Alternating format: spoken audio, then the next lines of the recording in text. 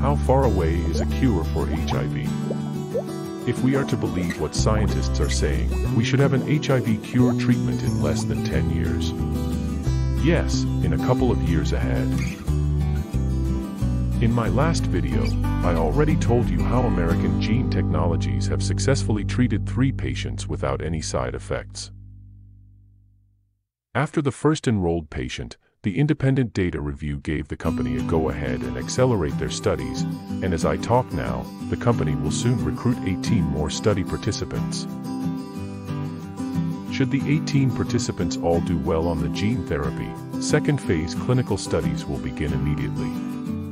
In other news, Temple University, Chinese companies, University of California are all exploring gene editing using CRISPR technology.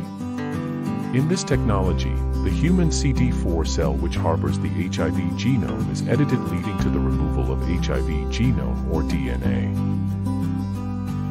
Hope you guys still remember that for the virus to infect you successfully, it has to first insert its DNA into your CD4 cell.